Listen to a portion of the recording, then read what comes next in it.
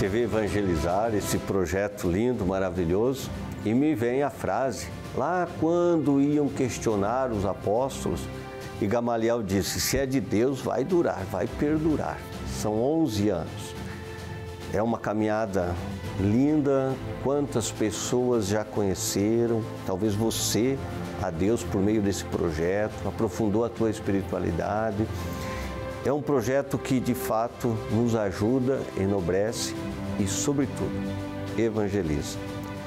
Deixar que o Evangelho seja a nossa bússola, o nosso guia, essas palavras do Senhor.